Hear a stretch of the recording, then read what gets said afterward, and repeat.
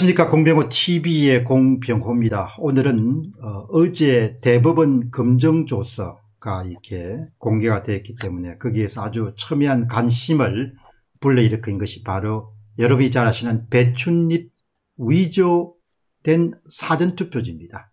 이것은 가장 상징적이고 어쩌면 사이로 선거의 진실성을 파악하는데 하늘이 주신 선물이다 이렇게도 볼 수 있겠습니다. 그런데 오늘은 특별히 바실리아 TV의 조슈아님 뿐만 아니고 40년의 인쇄 경력을 가지시고 그야말로 자발적으로 6월 28일 날 인천 연수구을 그 재검표 현장에 가셔가지고 이번에 상황을 반전시키는 그러니까 이번에 진실이 알려지는데 결정적으로 기여한 또 인쇄 전문가님을 모셨습니다. 네, 얼굴이 우리가 공개가 되지 않기 때문에 여러분들이 그 점 좀 이해해 주시기 바랍니다. 오늘 시간 내주셔서 고맙습니다. 네, 감사합니다. 예. 어떻게 그렇게, 이렇게, 저, 저, 그 시간을 내시가 참가할 생각을 하셨습니까?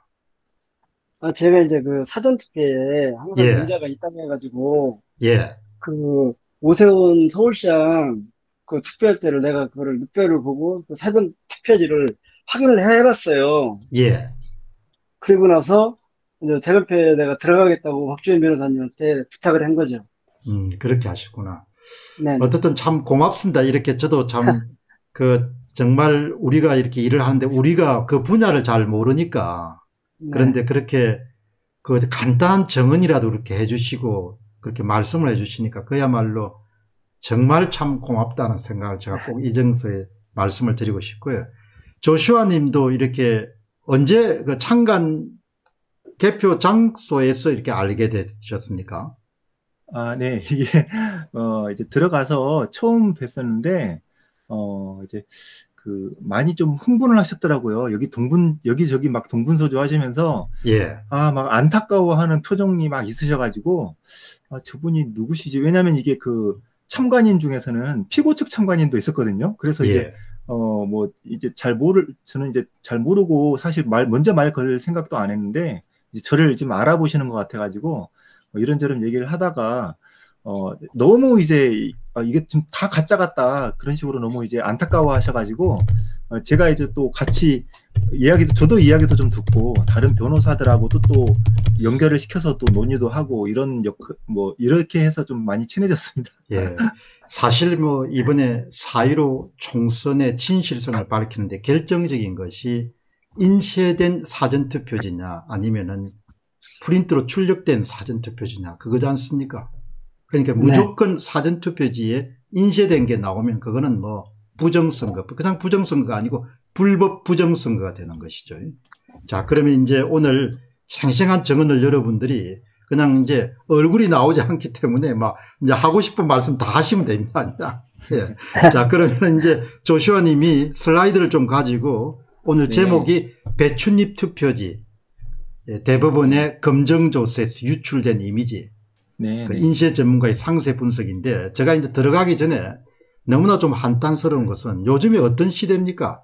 이 화질이나 이런 것이 굉장히 뛰어난 시대인데 어떻게 네. 그, 그 대법원의 조서에다가 그렇게 그냥 완전히 의도적으로 화질을 그냥 떨어뜨린 그러니까 대법원이 욕을 퍼부을 수 없는 거야.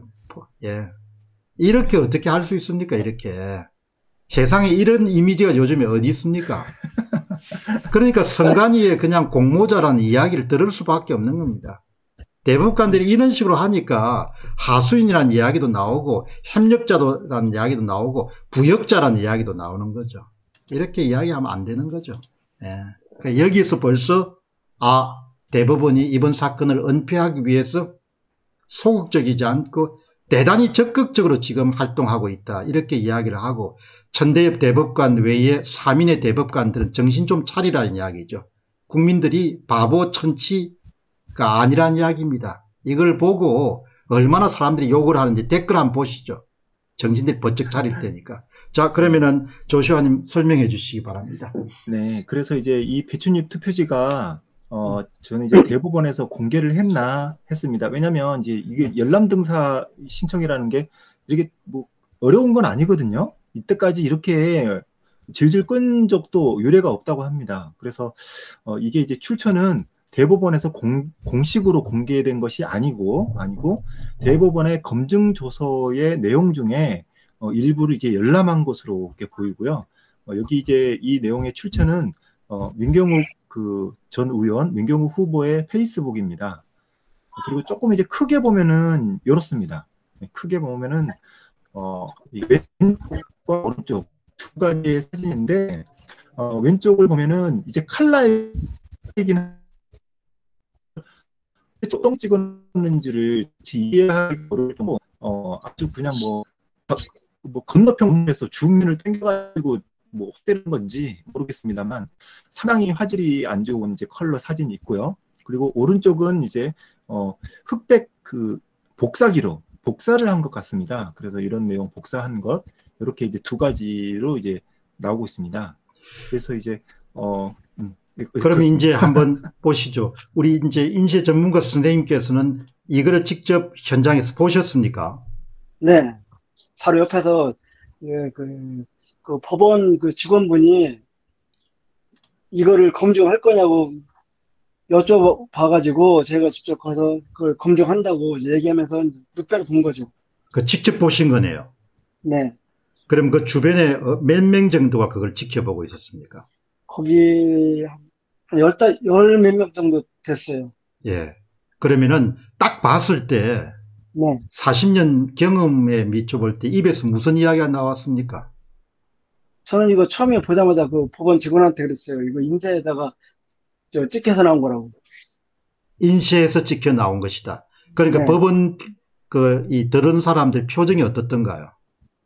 그, 그, 사, 그 사람들 당황하죠. 그 조금 더 말씀해 주시죠. 그 당시 상황을. 이게 좀 우리가 역사를 기록하는 거니까. 그냥 그때, 그때 그냥 본 거, 네. 느낀 거, 그냥 다른 사람들 상황 뭐든 괜찮으니까 말씀해 주시죠. 그때는 그 내가 이제 그, 그 법원 직원분이 먼저 이걸 발견을 했어요. 그래가지고 그 법원 직원이 저한테 이거 검증하실 거냐고 여쭤봐가지고 제가 그러면 이걸 검증한다고 하면서 제가 직접 봤거든요. 그 상황에서 있을 때 보니까 사람들이 막 다 시선이 저한테 와 있더라고요. 음. 그러면서 이제 제가 이제 그 변호사님들한테 부르고 조시아님한테도 얘기하고 다 이렇게 얘기한 거죠. 음. 그러니까 그 역사의 현장에 바로 계신 거네요. 네. 하나님이 내려주신 배추잎 위조 투표지의 역사 현장을 네. 맨 처음 목격하신 거네요. 네. 네. 근데 그 법원 직원은 그걸 확보했을 때 그냥 네. 숨길 수는 없었습니까? 그러니까 그 들고 있었어요. 그, 아, 그, 딱 들고 있었구나. 네, 들고 이거를 어떻게, 어떻게 할지 몰라가지고 눈, 눈치만 보고 있었어요.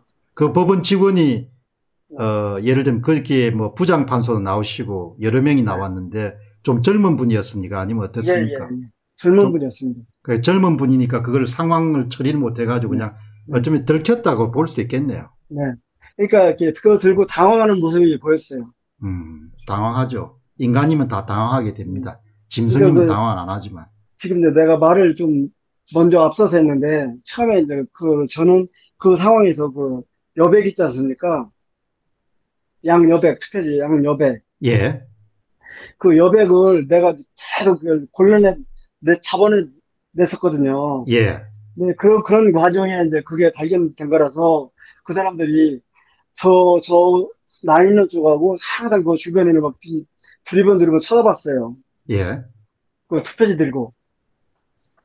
그러면서 이제 어떻게 할 것이냐고 나, 나한테 여쭤본 거지, 그, 그분이. 음, 그렇게 하죠. 그러니까 이제 조금 전에 선생님께서는 그, 그 장소에 그 배춧잎 어, 위조된 사전투표지를 이제 검증하기 이전에는 계속해서 사전투표 용지에 좌우 여백에서 이상현상이 발생하는가를 계속해서 모니터링하고 계신 계속 계속 예, 이제 예. 추적하고 있습니다. 그러니까 네, 프린트물은 네. 절대로 좌우 여백이 이상현상이 발생할 수 없는데 인쇄물은 네. 자르는 과정에 좌우 여백이 발생하니까 그걸 찾아내기 위해서 계속해서 보고 계셨네요.